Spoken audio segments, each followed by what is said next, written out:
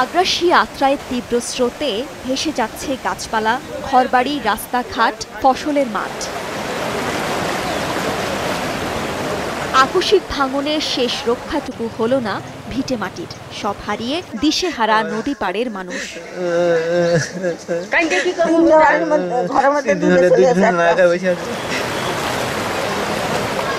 আত্রাই নদীর ভাঙা বাদ দিয়ে তীব্র বেগে পানি ঢুকছে সিংড়া উপজেলার লোকালয়ে।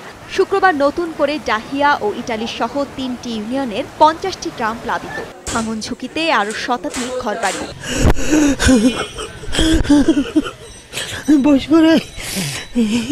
বহু কষ্টে গড়া ঘরবাড়ি বাঁচানোর চেষ্টা তাদের। অনেকেই ঠাঁই নিয়েছেন উঁচু বাঁধে ছোট ছোট ঘর বাড়ি করে আসছিলাম ভেঙে গেছে। এখানে সুতি অনেকগুলো সুতির কারণে আমার এরকম পরিস্থিতি। বাড়িঘর সব বিলেন না ভেঙে চুরে গেছে।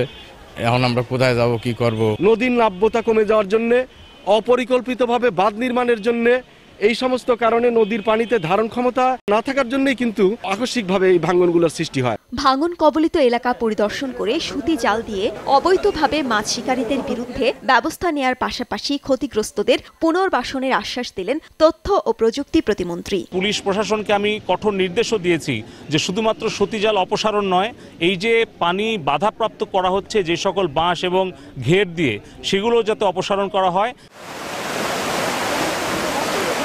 আত্রাই নদীর পানির চাপে বৃহস্পতিবার সিংড়া কলম সড়কের দুটি স্থানে চারশো ফুট ভেঙে যায়। তৃতীয় দফায় বন্যায় জেলার সাত হাজারের বেশি বাড়ি ও প্রায় তিন হাজার হেক্টর জমির ধান নষ্ট হয়েছে। সময় সংবাদ, নাটোর।